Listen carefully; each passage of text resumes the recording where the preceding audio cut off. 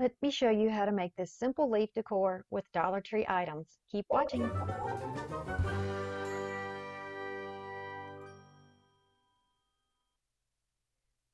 We're going to start off with a leaf, a wooden leaf form from Dollar Tree. I've already cut the tag and the piece of string off the top and the bottom hoop I got from Goodwill. I'm going to take some wipes. These are makeup remover wipes, but they're for sensitive skin. I use those to put in my watered down paint and that's the antiquing wax from Waverly. Just dip it in there, squeeze it out, and I'm going to use that as a stain on my leaf.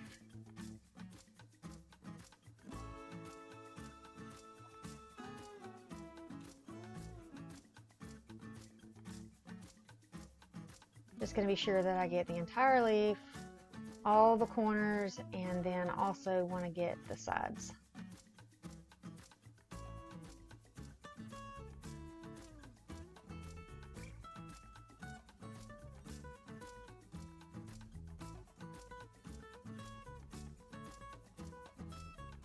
And then we're going to take the ring and we're going to use the same thing, the same treatment to color this.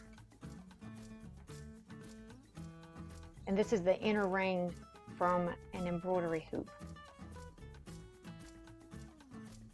I think it's a 10 or a 12 inch, but you'll know by measuring it against the leaf. You want to be sure that the leaf has contact on the side so it can be attached. All right, gonna set aside, let it dry, and once it's dry, you want to find your placement. My inspiration is from a piece of decor that I saw that came from Joann's. So I'm going to just use a little bit of my Gorilla Glue and glue down all of those points that are connected there. And then I'm going to use my little thankful sign from Dollar Tree or the welcome sign. And I think the other one is blessed. You can choose which one you like. It's in a, a metal finish. Decide on the placement and then using some Gorilla Glue, I'm just going to put that down. Hot glue dries really fast on the metal, so sometimes you can't get a good connection, you can't get a good seal um, or adhesion between them. So I just decided to give this a try. It's the first time I've tried it on the metal sign and just see how it works out.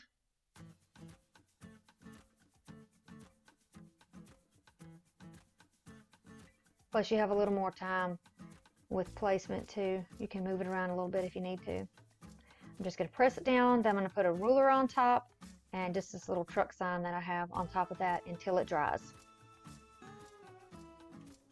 Once it's dry, I'm going to put my string back through the tip of the leaf and then I'm going to hang it as if it is hanging from the embroidery hoop.